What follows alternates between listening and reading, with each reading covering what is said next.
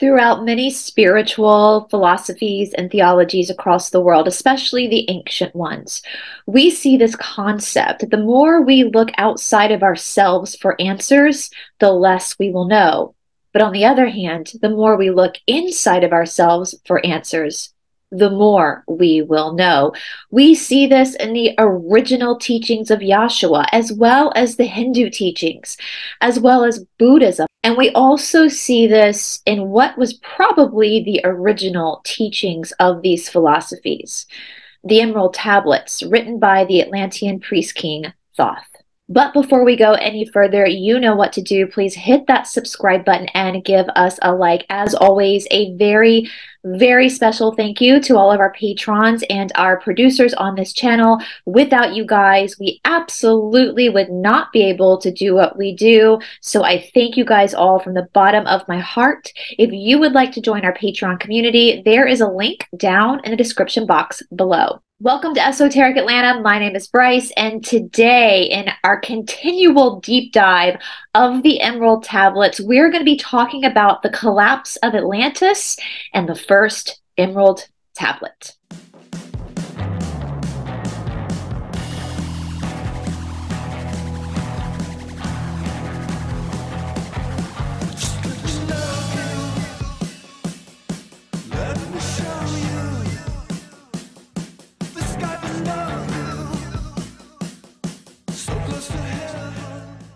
Mary Magdalene once wrote, There are many gods and goddesses with great power, and all manner of spirits that have secret knowledge. Yet the power that is in you is greater, and the knowledge you possess is more rare and precious. I tell you, great and luminous beings shall come seeking power and knowledge from you.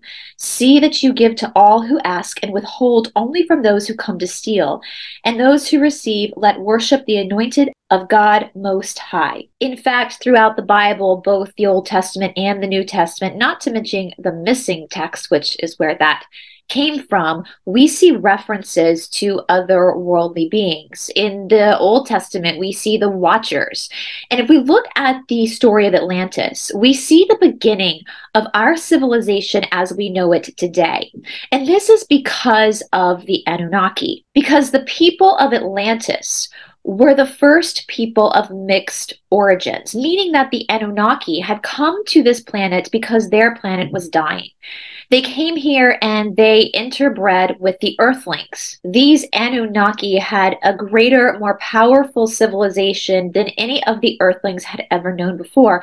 Thus, for the Earthlings, these Anunnaki became like gods. We see the mention of Anunnaki in Sumerian text as well as referenced through the Greek and Roman deities. We also see not only a reference of the Anunnaki mating with humans in the Old Testament of the Bible, but we also see this again through things like Greek mythology and Roman mythology when we have concepts of demigods, people who were born of both Anunnaki and Earthling. Now, these Anunnaki were obviously not gods, but because of their advanced civilization, that's the only way the Earthlings knew how to describe them. Now, I think a lot of people have huge misunderstanding about the Anunnaki. When I first started studying the Anunnaki, I had a misunderstanding about them. I thought that they were all bad. But the more and more I go deeper into the study of the Lost Gospels, and especially reflecting back on my own study into spirituality, and especially my time in India, it's very apparent to me that one person, regardless of where they're born or what they're born to, cannot be labeled as either good or bad just because of their physical matter. A person can only be labeled as good and bad because of the choices that person makes on a moral scale. And this is the exact same with the Anunnaki.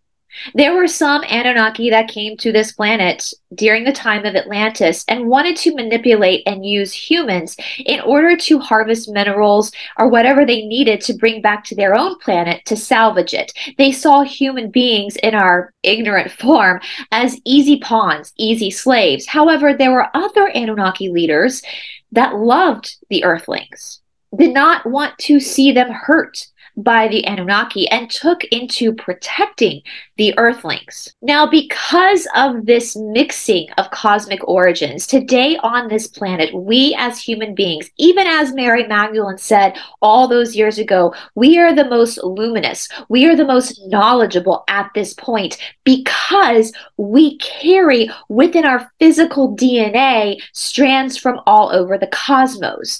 We know, or at least I know now, that this idea of race, black people, white people, Asian people, Latin people. According to the Egyptian hieroglyphs, there were even blue people. And again, I ask, why aren't we focused on where these blue people went? They've just disappeared. Where are the blue people? But anyway, I digress. All these races that we have are not necessarily indicators of where our ancestors lived through survival of the fittest. Uh, for example, a black person isn't black necessarily because their ancestors survived in Africa. I'm not necessarily blonde hair, blue eyed because my ancestors are from Northern Europe. This is what the controllers want us to believe, but this is not really what this is our physical makeup is a sign of the dominant gene that comes from the cosmos. For example, we know that Magdalene herself looked a lot like me was blondish reddish hair, blue eyes. Why is that? Even though she was Egyptian, this was because her mother's line was Kentuckian. Who were the Kentuckians? They were from the planet Kentucka, and they were what we call Nordic. We also know that the real Yahshua was mixed between white and black, having darker, darker skin. But in their time, they didn't see this as race. They just saw this as a sign of their galactic heritage. This is why, when we look at Atlantis and we look at the fall of Atlantis, we see the leftover Atlanteans coming into the land that we call Egypt. Now, I'm going to be honest with you guys. Maybe my soul kind of knew this because I think most of us on this journey, even though the Law One speaks about this in the Cassiopeians, we're back here karmically because we were there for the fall of Atlantis. And I think that's why this subject is so fascinating to me, and I've been so intrigued by it for a lot of my adult life. When I was a child and I would study Egypt, I never saw Egypt as really being a part of the African continent. Now, yes, it is on the African continent, absolutely. But it was like in my mind's eye, I saw Africa, the Middle East, Europe above it all is in like this brown color and then Egypt was like in this yellow color. That's how I saw it in my mind. And I think what my soul was trying to remember or trying to prompt me to remember is that Egypt itself, the culture of Egypt were the leftover Atlanteans. And so, what does that mean? Again, if we look at the Egyptian hieroglyphics, we see people of all races. We see people of all body shapes and sizes. It is because the Egyptian heritage was not conducive to just one race. It's all of us. It's all of our races. That's why we see pharaohs with blue eyes. That's why we see a blonde haired Magdalene who was born there in Egypt. It was just the rebuilding of the Atlantean structure. Now, because the Anunnaki were more advanced than the Earthlings in their understanding of technology and spirituality, which kind of go hand in hand with quantum physics, if you know what I'm talking about. But anyway, I digress.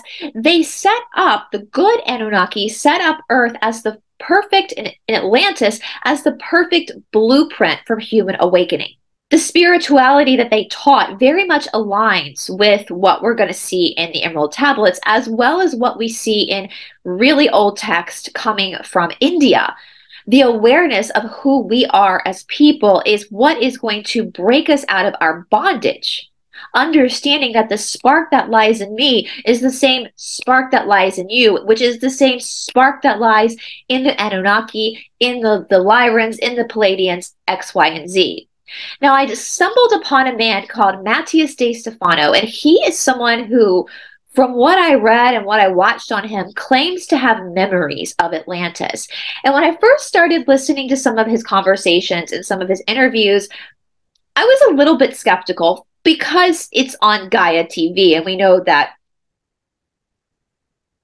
we have to be careful with Gaia TV sometimes. Like they do put the truth out, but I don't know if they're putting the full truth out, if you know what I mean. But anyway, he started talking about remembering being with these Anunnaki and how he knew at the point of, of his life in Atlantis that he himself in that life was a DNA mixture of all these different celestial life forms he talked about the struggle between the good Anunnaki and the bad Anunnaki. And we know, we know that Lemuria, the timeline of Lemuria was before there was confusion, before there was conflict. But with Atlantis, we had conflict come into this earth, which means that we were brought into a polarized planet, a third density polarized planet. So, in a lot of ways, the Anunnaki coming in, some being good, some being bad, gave us that friction, that template that we needed to start to find our own awakening. Matthias de Stefano claims that within the Atlantean, the good side of the Atlantean um, Anunnaki tribes, for lack of a better word, there were 12 distinctive groups. And these 12 distinctive groups were kind of cornered off from each other in order for them to perfect what they could genetically do. They had leaders of each of these 12 groups, an Anunnaki leader that wasn't like a tyrant as we think of today, but actually really cared about the people, these offsprings of these Anunnakis with the Earthlings. And so each of these 12 groups would learn how to be and use the talents that they were born with, depending on their galactic heritage. Now, this struck me as interesting because, again, this is the first time I've ever listened to this man speak about this. And if you've been on this channel for a while, you know that I have talked about many, many, many, many times about the 12 tribes of Israel and that Jacob from the Bible is not the good tribes of Israel. We know that the darkness can't create anything, it can only steal from and invert from the light. And so the bloodlines of the families that are in the controller's cult, the dark cult, are descendants of Jacob. So, what is the good? What are the real 12 tribes of Israel? Well, that's the galactic tribes, which matches what Matteo de Stefano was saying, or excuse me, Matthias de Stefano was saying. He also claimed that the earth itself has 12 different portals that hold information about each galactic group, which, if we know, when we talked last week in the introduction to the Halls of Amenti, it's almost like that is a portal into this information. So I thought that was super, super, super fascinating. We also know that within our own DNA, we only have two DNA strands that are active when we're supposed to have 12 active strands of DNA. So could the 10 that are not active be the missing tribes of Israel? Is it literally something inside of us and not something outside of us? Seems like it to me. The destruction of Atlantis came when the war between the good Anunnaki and the bad Anunnaki got so intense. And we know that in polarization, the bad guys started to take over. We know from our own world today that it is so much easier to trick somebody into slavery than it is to push someone on a limb and tell them to do it themselves. So many people would rather have someone else just do something for them, bringing their bringing themselves to their own slaughter than being out on their own and trying to figure things out on their own, especially in spirituality. And so what happened at the fall of Atlantis was what the, the bad guys took most of the power, holding all the secret knowledge to themselves. And we had these other 12 tribes that were so much less that the bad guys were able to then topple the good guys. This is what brought about the flood, the great flood that we see in the Bible that wiped out Atlantis, bringing most of Atlantis under the ocean. And as I said in the beginning, Atlantis was the origins of who we are today. It's what began us, us humans that are watching right now. We are the descendants of those who were left over. And no, it wasn't just Noah there were groups of people that survived that went to high ground or went into the caverns and survived the flood and came out. And those are our we are the atlanteans. We literally are the atlanteans. And now we're back again in this cosmic battle of good versus evil. Only this time we hope we win.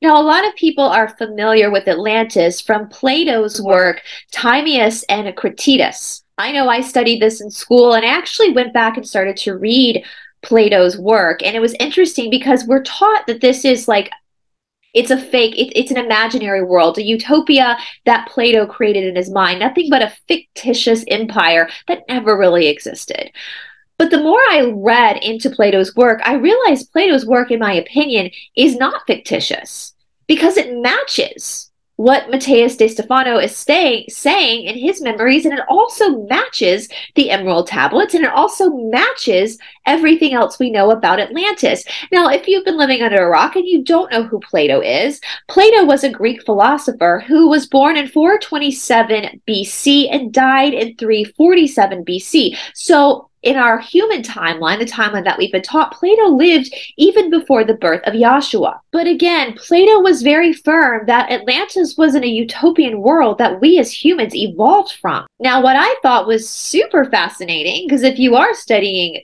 Tartaria, you are familiar with the mud floods. And in Plato's work, he doesn't just talk about a flood of water, he also talks about a flood of mud. Now, of course, the translation that we're using for the Emerald tablets is from a man named Michael Doreal. This is also the same translation that I believe Billy Carson used. And Billy Carson, I am just obsessed with him at this moment. Um, his talks on the Emerald tablets are unbelievable. And I'm going to place a link to his channel down in the description box below. I know that there are some things that Billy and Carson and I don't agree on, but that's okay because most of the stuff he talks about we do agree on. And I really would like to hopefully one day get him on the channel. I really want to ask him about Tartaria and see if any of the Tartarian research changes his perspective on some things.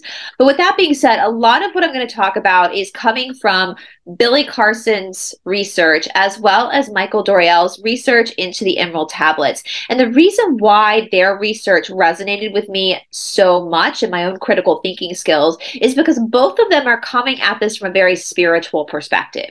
And that is what this book is yes, in the first tablet, we're going to hear about the falling of Atlantis, the story of the falling of Atlantis, but there's more to it. There's more within the writing. And I've actually read the first tablet now about 10 times. And every time I read it, I notice something else. There's something else that stands out to me. Now, Doreal claims that the tablets are a frequency of light, and the light in you will cause the tablets to respond. Basically, the more you read these tablets, that light in you will activate the light of the tablets, where you then start to quantum entangle with these tablets. And the mastery of these tablets will allow you to, in a sense, time travel and consciousness. It will allow you to move away from the concepts of death, leaving at will from the earth. All these things that at one point I think we thought were kind of hokey but now we're realizing are legit. After all, Thoth himself had conquered death. Now, tablet one is titled The History of Thoth the Atlantean, and we are going to go through it. And I am going to break it down, but at the end, I am going to play just a solid reading of it if it's something you want to listen to over and over again yourself, although I would suggest purchasing the Emerald tablets for yourself as well. So we start with the first tablet of Thoth saying, I Thoth the Atlantean, master of mysteries, keeper of records, mighty king, magician, living from generation to generation, being about to pass into the halls of Amenti, set down for guidance for those who are to come after. Now, I underlined come after here on my book because those that are to come after, that's us.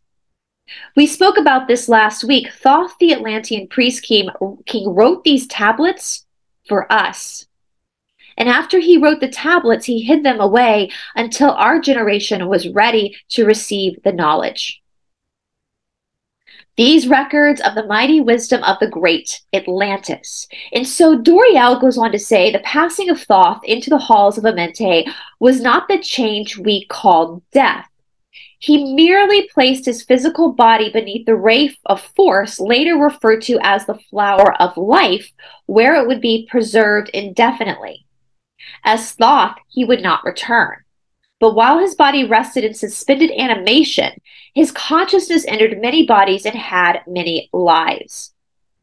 Okay. And somebody mentioned that on Aquarius Rising Africa last week when we were just introducing this topic we think about these med beds that are to come. So, is it a stretch to say that the med beds are coming from the information in these tablets? And we know that in the halls of Amenti, underneath the earth where all this is hidden, there's not only just information, but there's actual preserved technology that the Atlanteans, our ancestors, used. We know the Atlantean world was way more advanced than we are even today. So, again, in the beginning, we see Thoth telling us that he is about to leave again. He's about to return into the halls of Amenti. That is why he's writing these tablets down, because it's time for him to depart so that we, the descendants of Atlantis, can take go about our process of reincarnation. In fact, he talks heavily about reincarnation in these tablets. He goes on to say in the great city of Keor on the island of Undal.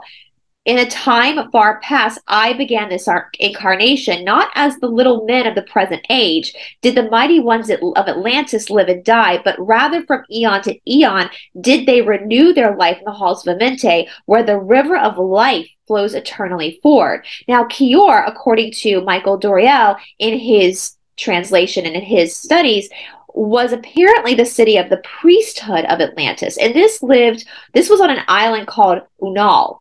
And on the opposite island was Undal. So Unal and Undal. And Unal and Keor on Undal faced Unal. And the other side was occupied by the Chen, which was the philosophical and scientific groups. So this goes back to Matthias de Stefano's memory of there being these 12 different groups that were kind of isolated together, honing in and working on their ability. So we have this in the emerald tablets that yes, this was what was going on on the good side of Atlantis. These different groups were working on their abilities.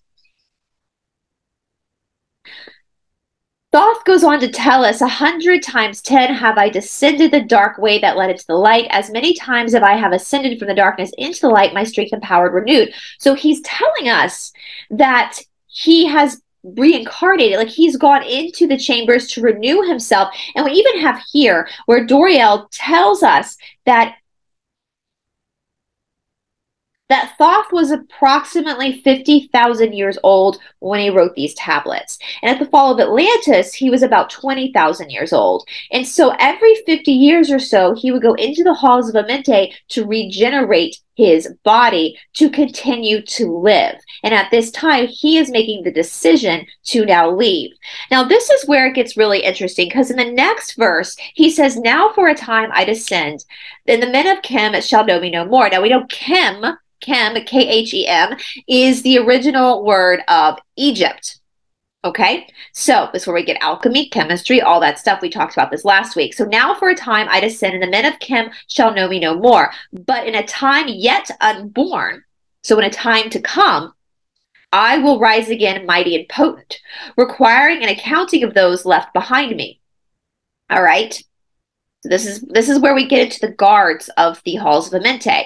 Then beware, O men of Khem, if ye falsely betray my teachings, for I shall cast ye down from your high estate into the darkness of the caves from which ye came. Betray not my secrets to the men of the north or the men of the south, lest my curse fall upon ye. Remember and heed my words. For surely it will return it, for surely I will return again and require of thee that which ye guard. I, even from beyond time and from beyond death, will return, rewarding or punishing as ye have request, requited your trust. Great were my people in the ancient days, great beyond the conception of the little people now around me. Not knowing the wisdom of old, seeking far within the heart of infinity, knowledge that belonged to the earth's war. Wise were we with the wisdom of the children of light who dwelt among us. Strong were we with the power drawn from the eternal fire. And of all these, greatest among the children of men was my father, Thotme. We're going to talk about Thotme, his father, keeper of the great temple, link between the children of light who dwelt within the temple, and the races of men who inhabited the ten islands. Mouthpiece after thee of the dweller of Unal, speaking to the kings with the voice that must be obeyed. Okay, so let's go back again. We know from last week's studies that Thoth left these tablets in the halls of Amenti under the Great Pyramid. And we know that he ordained certain priests to stand guard at the halls of Amenti through all these generations, protecting the information from those who wish to destroy us. These became known as the pyramid priests. Now, he's giving the pyramid priest a warning. He's saying, hey, listen, I'm going to trust you to hold this information for my children, for my descendants, and not give it away to those who will betray the teaching. So basically, do not give this this information to the cabal, to the deep state, right? Hold them tight, keep them protected. Now, if we look at Thoth's father, Thotme, many people believe that Thoth's father, Thotme, was Zeus himself. Well, who is Zeus? Zeus is a Greek god, an Anunnaki. This is what I was saying in the beginning. We think all these stories of the Greek gods as mythological or demonic, but they're not. They're literally aliens who came down and mated with us humans. So therefore, we carry the DNA of them as well. This is again what Mary Magdalene was saying in her gospel, too. This is the truth of it. And Thotme was one of these. If he was Zeus, he was one pure Anunnaki god. And so Thoth himself is now a demigod. He's he's one of us. I mean, I, I hope that makes sense. Like we're carrying the DNA. And so Thoth is us and we are Thoth. We are his descendants. And he's saying, My father was one of these rulers. He was one of these leaders.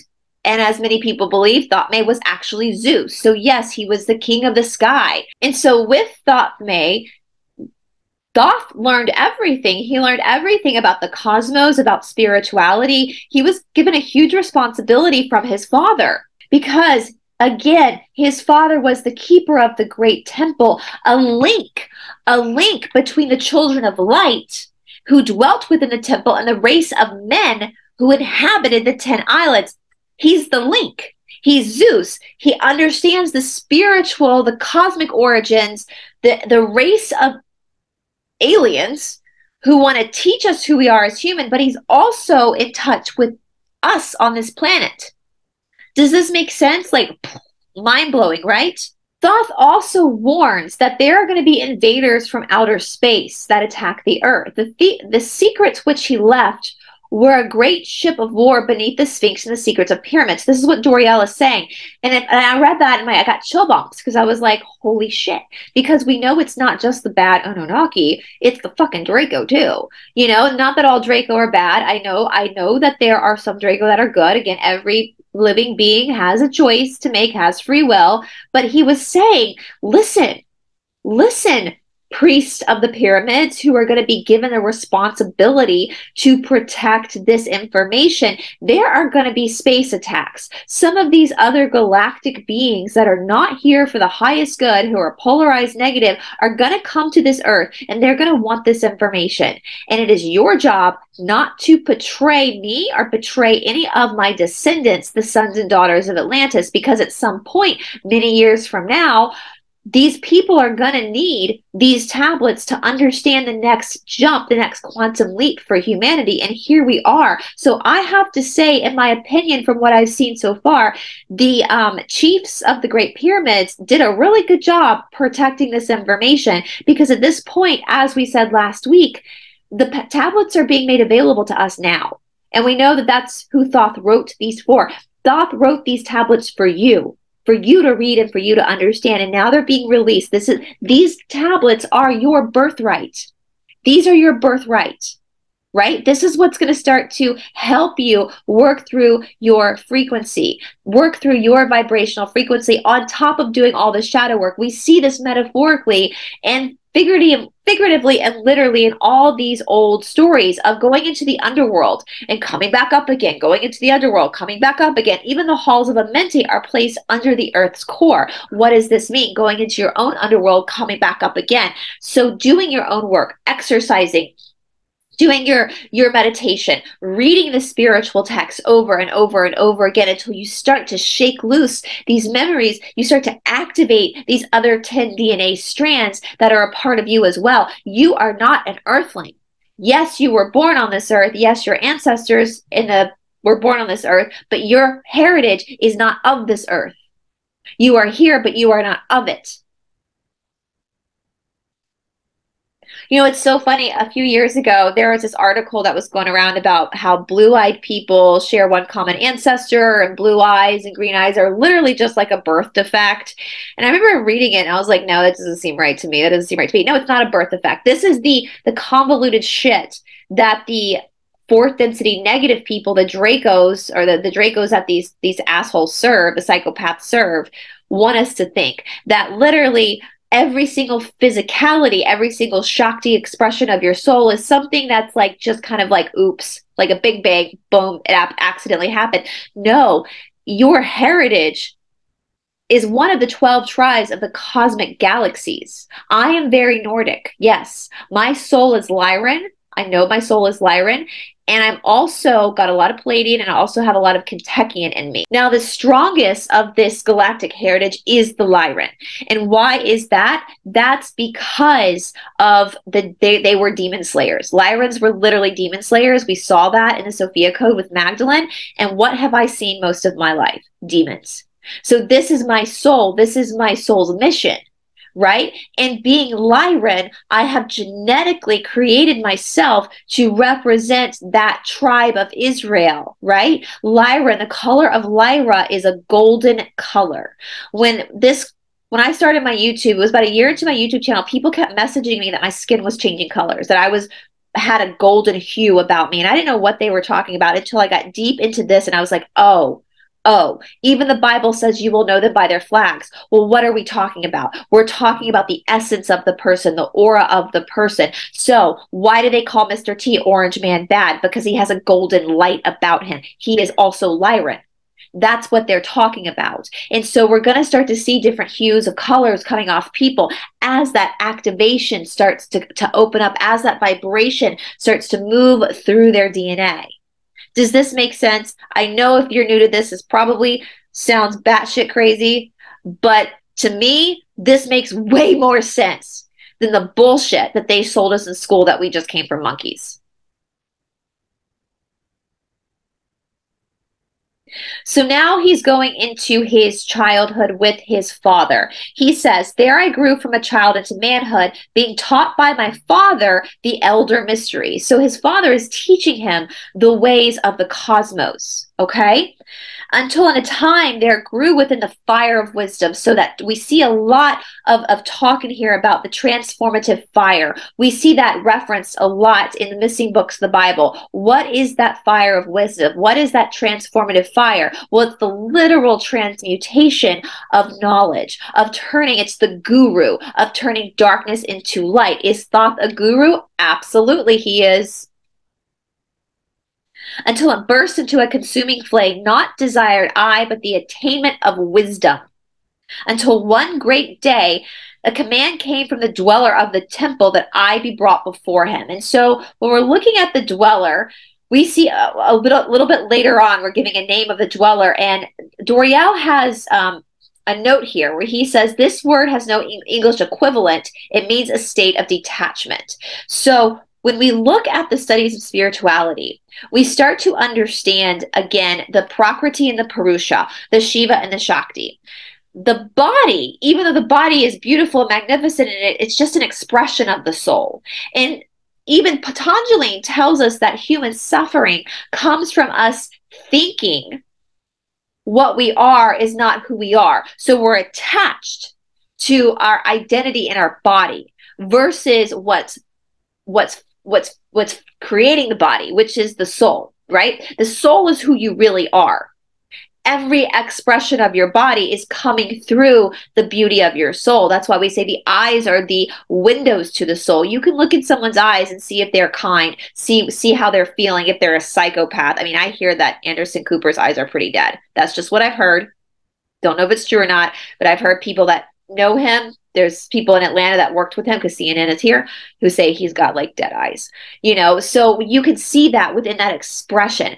But the body, the golden hue, whatever you have in your body is simply just an expression of that soul. It's the Shakti, it's the expression. So if it's just the expression, then it's not the soul. And so when we start to understand that, really understand that, we become we come into this kind of this sense of a little bit more detachment over over our own mortality. And so that's what I think they're talking about here. The dweller of the temple is the sense of this being that understands you now get it. You now get it. Through your own fire of transmutation, of shadow work, you understand that the life you're living ain't nothing but an expression of your infinite soul not the other way around. You're not a human being having a spiritual experience. You're a spiritual being having a human experience. Few were there among the children of men who had looked upon the mighty face and lived. For not as the sons of men are the children of light, for they are not incarnate in physical body. So that the, the children of light are the spirits, the souls, right, of the consciousness. Yeah, they're not in physical body. They're just pure consciousness. Okay? Chosen was I from the sons of men, taught by the dweller, so that his purpose might be fulfilled, purposes yet unborn in the womb of time. And so at this point, Thoth is being picked by this bigger sentient being because Thoth got it. He understood it. And so he is going to use Thoth for a plan that has not even come to pass yet. That plan is us. This is why the controller controllers are batshit afraid of all of us because this was written, all this monumentous work was written for us. So as Thoth is saying his, he's saying a plan, a purpose that it yet unborn in the womb of time. So Thoth understands that there's going to come a time that is yet, it's not here yet and Thoth that's going to be used for this purpose that is at this point isn't even conceivable in the realm of time. Long ages I dwelt in the temple, learning ever and yet ever more wisdom, until I approached the light emitted from the great fire. Taught me he the path to Amenti the underworld where the great king sits upon the throne of might. Deep I bowed in homage before the lords of life and the lords of death, receiving as my gift the key of life. And so through his own mutation into the underworld, through his own fire of, of, of shit and, and breaking those attachments, he was gifted the key of life, meaning he transcended death. Free was I of the halls of Amenti, but not bound by death to the circle of life. For to the stars I journeyed until space and time became as naught. Then, having drunk deep the cup of wisdom, I looked into the hearts of men, and there I found the great mystery and was glad. For only in the search for truth could my soul be still and the flame be quenched. So Doreal has a note here. Standing before the lords of life and the death, he received the key of life and death with power to take it up or lay it down at will. So, yes, again, as I said, as we now know, Thoth transcended death, meaning that he is not a slave to death. Rather, he decides when he comes and when he goes. And when he wants to leave, he just goes into the halls of Amenti and lays his body under the flower of life for rejuvenation. And then his consciousness then is able to embody other bodies while his Thoth body still lays in rejuvenation. Okay? Drawn through the ages I lived, seeing those around me taste the cup of death and return again in the light of life. So now again, we have another reference to reincarnation. Gradually, from the kings of, of Atlantis, waves, past waves of consciousness that have been with me, only to replace by the spawn of a lower star. So we know that he had that that Thoth is telling us, like, I am going to come and go and come and go in multiple different incarnations. We know that Hermes was Thoth. We know it's possible that Yahshua or Yahshua's teacher was also Thoth. I've since learned that Odin, the Viking god Odin, Odin is also Thoth in every incarnation, he's bringing back that conscious information of Atlantis, right?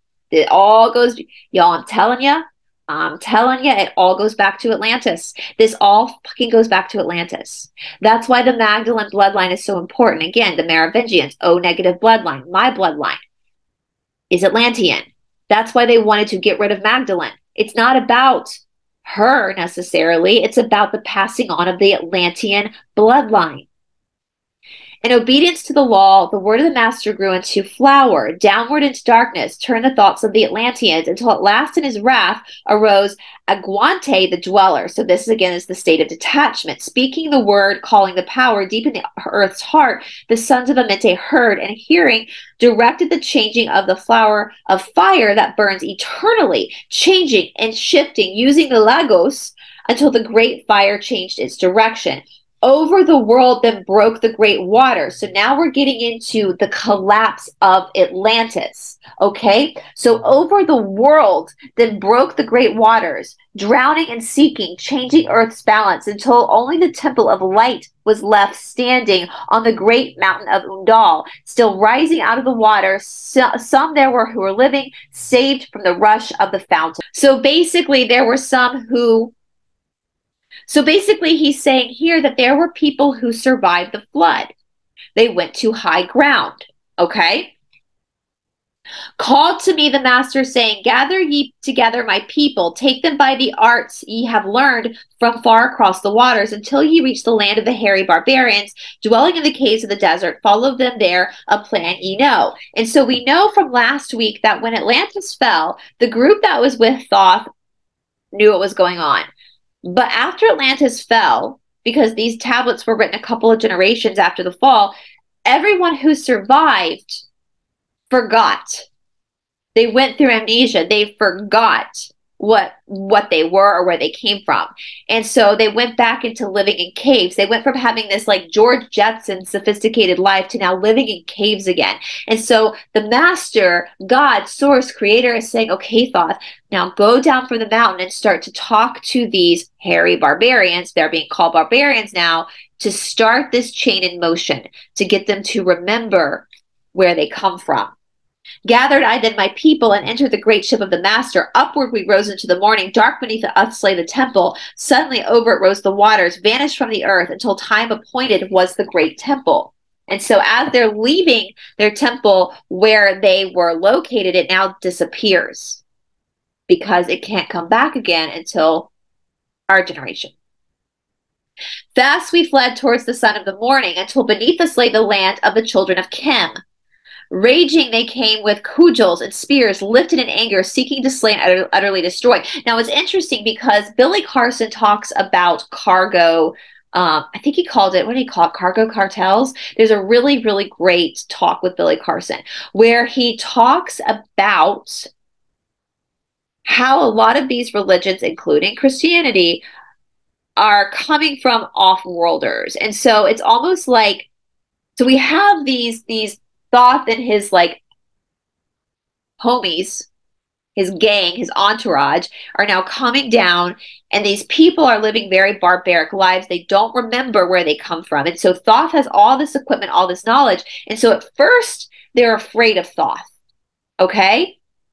But then what happens over time is they start to see Thoth as a deity. Now Thoth does not he never calls himself a god. He says, I I am just a son of Atlantis. I'm just someone who's like you, happens to remember what happened. But that's where we start to see these temples arise. And we see this in a lot of religions. I mean, again, Billy Carson, check out that, check out his origins of religion talk because he talks all about this, about how uh, throughout history that's why we call the the greek gods gods is because our ancestors didn't understand that they weren't gods they were just off-worlders who were more advanced than we were and the only way we could explain them in our lack of knowledge was a god or a goddess when they're not actually gods or goddesses, they're just literally extraterrestrial humanoid beings that just had more advanced technology. And so we're seeing this. We're seeing these these leftover people get freaked out because all of a sudden these people that are far superior as they're perceived are coming down and now we're then we're going to see them start to worship Thoth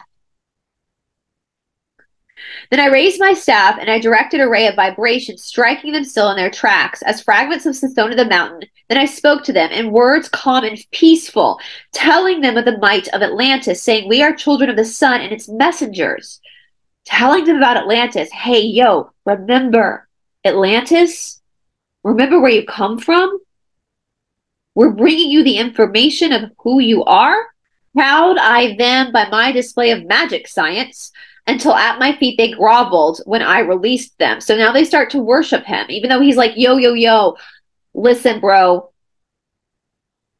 you're you're what you're one of me. Like you don't remember, but like yo, there was a big flood and um you're one of us. I, I, need you to remember this. But we know, and Thoth knows, that we're not going to remember that we're Atlanteans until our generation now. Long I dwelt we in the land of Khem, long and yet long again, until obeying the commands of the Master, who while sleeping yet lives eternally, I sent for the sons of Atlantis, sent them in, in many directions. From the womb of time, wisdom might rise again in her children. So this is interesting. This might explain why we have so many different Isis temples, so many different pyramids all over the world, because of this this again. So let me read this again. Long dwelt we in the land of Khem, long and yet long again, until obeying the commands of the Master, who while sleeping yet lives eternally. So when I see this, until obeying the commands of the Master, who while sleeping yet lives eternally, I think he's telling us that he's talking about source source creator God, that he's sleeping now. So we know at this point there has to be a tug of war between Lucifer, but yet, so he's sleeping. The master God is backing away to allow the polarity to continue for us to discover who we are, but yet he's still kind of watching and he's still kind of here. And he's telling Thoth, hey, listen, my son of Atlantis, I need for you to send your people who still have memory of who they are i need you to like dispense them around the world so they can start kind of talking to these cultures about atlantis to hopefully start this dna memory through the generations to come and so again that's why i think we see it here why we have so many pyramids all over the world is because god told thoth send the people out your people out so that the world will have this information. So let's read this again. Long dwelt we in the land of Khem, long and yet long again, until obeying the commands of the Master, who while sleeping yet lives eternally, I sent for me the sons of Atlantis, sent them in many directions, that from the womb of time wisdom might rise again in her children. Long dwelt I in the land of Khem, doing great works by the wisdom within me. Upward grew into the light of knowledge the children of Khem. Watered by the rains of my wisdom, blasted I then a path to Amenti, so that I might retain my powers, living from age to age, a son of Atlantis, keeping the wisdom, preserving the record. So now he's like, you know what? This is when I, when I sent all of my my uh, bros out there to like remind you guys to start that cycle of keeping records. That's why there are golden tablets found in Latin America as well. Um, he's like, all right, so we're keeping with the plan here.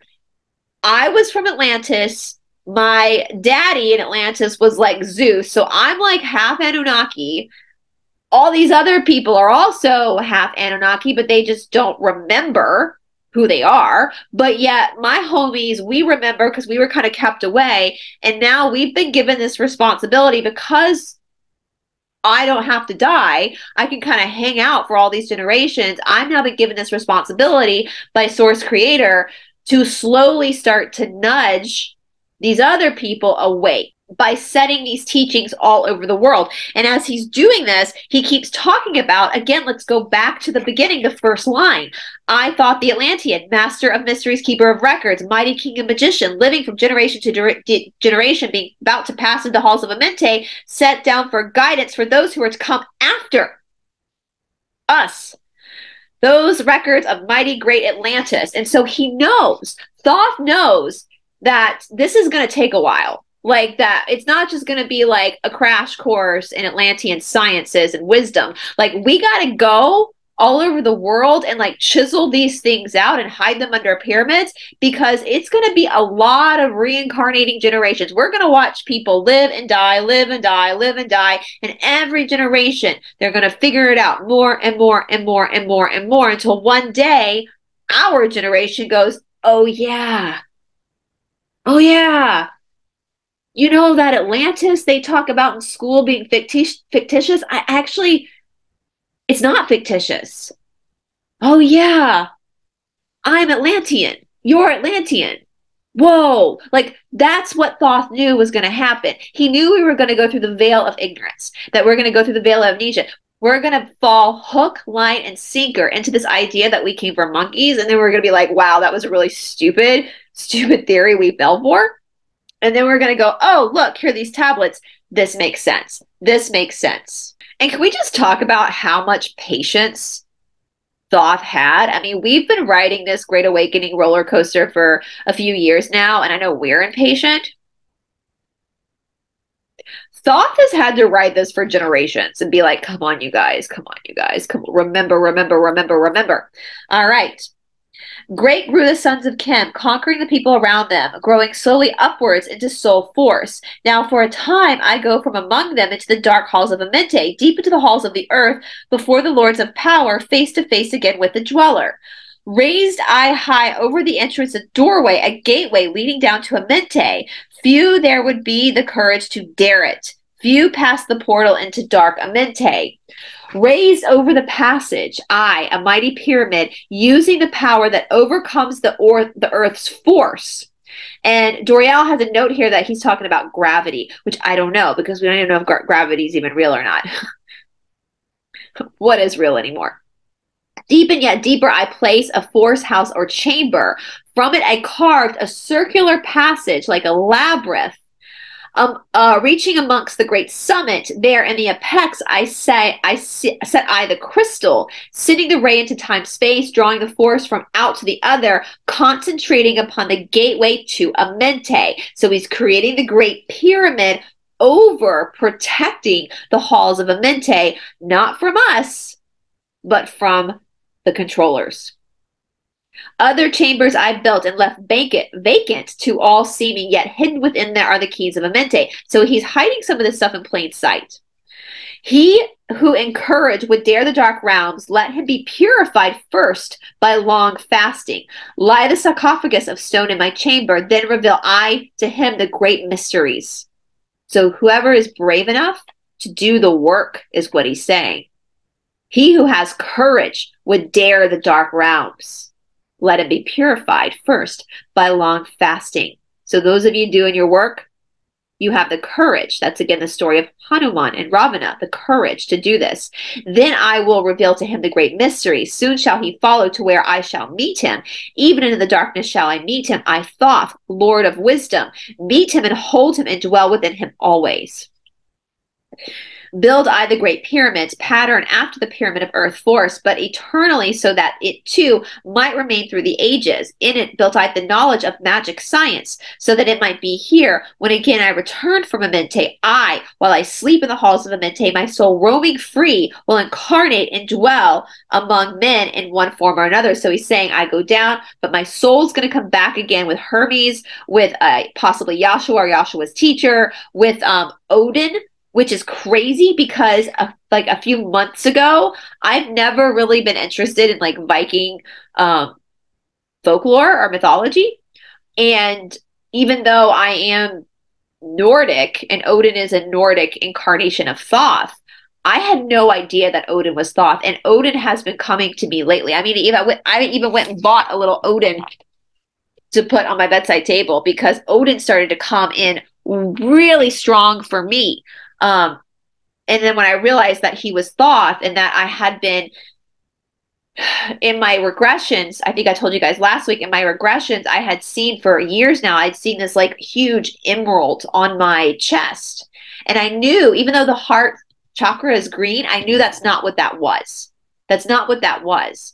I just knew instinctively that that green emerald had something to do with the emerald tablets. It was a metaphor. And in that point of regression, I knew that there were things called the emerald tablets, but I didn't know anything about them.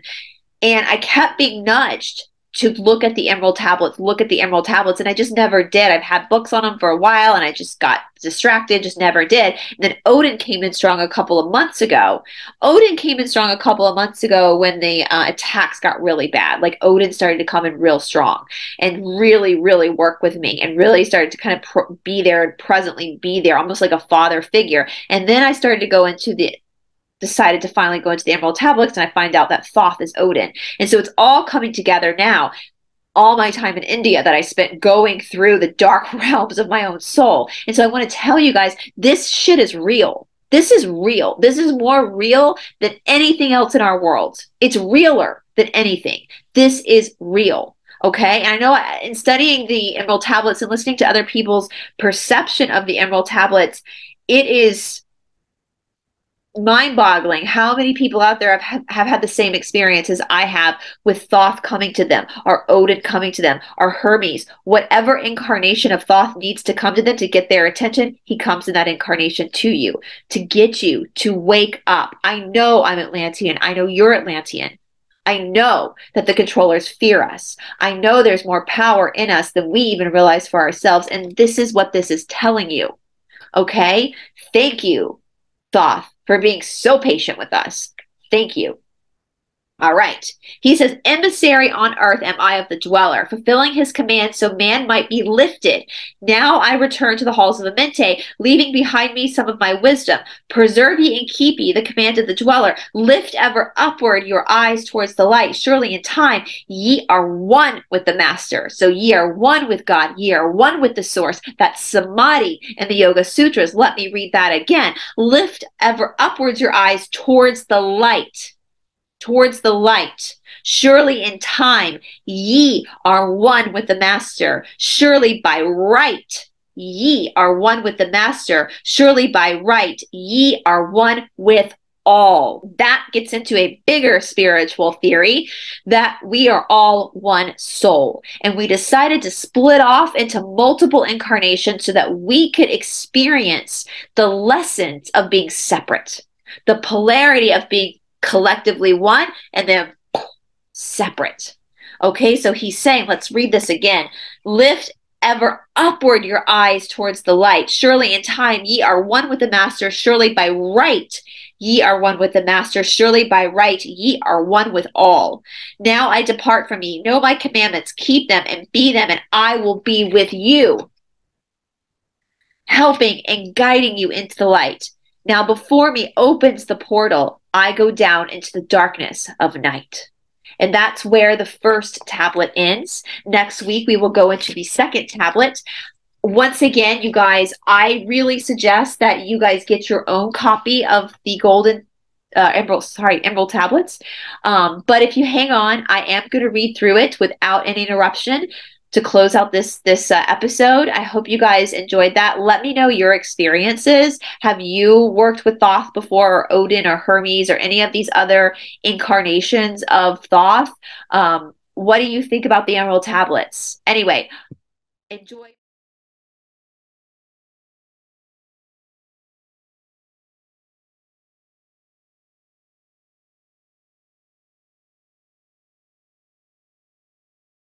The Emerald Tablet 1 The History of Thoth, the Atlantean. I, Thoth, the Atlantean, master of mysteries, keeper of records, mighty king, magician, living from generation to generation, being about to pass into the halls of Amenti, set down for the guidance for those that are to come after. These records of the mighty wisdom of great Atlantis in the great city of Keor on the island of Undal, in a time far past, I began this incarnation. Not as the little men of the present age did the mighty ones of Atlantis live and die, but rather from eon to eon did they renew their life in the halls of Amenti, where the river of life flows eternally onward. A hundred times ten have I descended the dark way that led into the light, and as many times I have ascended from the darkness into the light, my strength and power renewed. Now for a time I descend, and the men of Khem shall know me no more. But in a time yet unborn will I rise again, mighty and potent, requiring an accounting of those left behind me. Then beware, O men of Khem, if ye have falsely betrayed my teachings, for I shall cast ye down from your high estate into the darkness of caves from whence ye came. Betray not my secret to the men of the north, or the men of the south, lest my curse fall upon ye. Remember and heed my words, for surely I will return again and require of thee that which ye guard. I, even from beyond time and from beyond death, will I return, rewarding or punishing as ye have requited your trust. Great were my people in the ancient days. Great beyond the conception of the little people now around me. Knowing the wisdom of old, seeking far within the heart of infinity, knowledge that belonged to the earth's youth. Wise were we with the wisdom of the children of light who dwelt among us. Strong were we with power, drawn from the eternal flame, and of all these, greatest among the children of men was my father, Thotme, keeper of the great temple, link between the children of light, who dwelt within the temple, and the races of men who inhabited the ten islands, mouthpiece after the three of the dweller of Unal, speaker to the kings, with the voice that must be obeyed. Grew I there from a child into manhood, being taught by my father the elder mysteries, until in time there grew within the fire of wisdom, until it burst into a consuming flame. Not desired I, but the attainment of wisdom, until on a great day the command came from the dweller of the temple that I be brought before him. Few there were among the children of men who had looked upon that mighty face and lived. For not as the sons of men are the children of light, when they are not incarnated in a physical body. Chosen was I from the sons of men, taught by the dweller, so that his purposes might be fulfilled, purposes yet unborn in the womb of time. Long ages I dwelt in the temple, learning ever and yet ever more wisdom, until I too approached the light emitted from the great fire. Taught me he the path to Amenti, the underworld where the great king sits upon his throne of might. Deep I bowed in homage before the lords of life and the lords of death, receiving as my gift the key of life. Free was I from the halls of Amenti, bound not by death to the circle of life. For to the stars I journeyed until space and time became as naught. Then, having drunk deep of the cup of wisdom, I looked into the hearts of men, and there I found great mysteries and was glad. For only in the search for truth could my soul be stilled and the flame within be quenched. Down through the ages I lived, seeing those around me taste the cup of death and return again in the light of life. Gradually, from the kingdoms of Atlantis passed waves of consciousness that had been one with me, only to be replaced by the spawn of a lower star. In obedience to the law, the word of the Master grew into flower, Downward into darkness turned the thoughts of the Atlanteans, until at last in his wrath arose from him his Agwanti, the dweller, Speaking the word, calling the power deep in the earth's heart, the sons of Amenti heard and hearing, directing the changing of the flower of fire that burns eternally, changing and shifting, using the logos until that great fire changed its direction. Over the world then broke the great waters, drowning and sinking, changing earth's balance, until only the temple of light was left standing on the great mountain of Undal, still rising out of the water. Some there were who were living living, saved from the rush of the fountains. Called me to them the master, saying, Gather ye together my people, take them by the arts ye have learned of far across the waters, until ye reach the land of the hairy barbarians, dwelling in the caves of the desert. Follow there the plan that ye know of Gathered I then my people and entered the great ship of the Master. Upward we rose into the morning. Dark beneath us lay the temple. Suddenly over it rose the water, vanished from the earth until the time appointed was the great temple. Fast we fled towards the sun of the morning, until beneath us lay the land of the children of Khem. Raging, they came with cudgels and spears lifted in anger, seeking to slay and utterly destroy the sons of Atlantis. Then I raised my staff and directed a ray of vibration, striking them still in their tracks as fragments of stone of the mountain. And then I spoke to them in words calm and peaceful, telling them of the might of Atlantis, saying, We were children of the sun and its messengers. Cowed I then by my display of magic science, until at my feet they groveled when I released them. Long dwelt we in the land of Khem, long and yet long again until obeying the commands of the Master, who while sleeping yet lives eternally. I sent for me the sons of Atlantis, sent them in many directions, that from the womb of time wisdom might rise again in her children. Long time I dwelt in the land of Khem, doing great works by the wisdom within me. Upward grew into the light of knowledge the children of Khem, watered by the rains of my wisdom. Blasted I then a path to Amenti, so that I might retain my powers, living from the age to age, a son of Atlantis, keeping the wisdom, preserving the records. Great grew the sons of Khem, conquering the people around them, growing slowly upward in soul force. Now for a time I go from among them into the dark halls of Amenti, deep in the halls of the earth, before the lords of power, face to face once again with the dweller. Raised I high over the entrance, a doorway, a gateway, leading down to Amenti. Few there would be with courage to dare it. Few passed the portal to dark Amenti. Raised over the passage I, a mighty pyramid, using the power that overcame the earth's force. Deep and yet deeper I placed a forced house of chamber. From it carved I a circular passage, reaching almost to the great summit. There in the apex I set the crystal, sending the ray into the time space drawing the force from out of the ether, concentrating upon the gateway to Amenti. Other chambers I built and left vacant to all seeming, yet hidden within them are the keys to Amenti. He who in courage would dare the dark realms, let him be purified first by long fasting.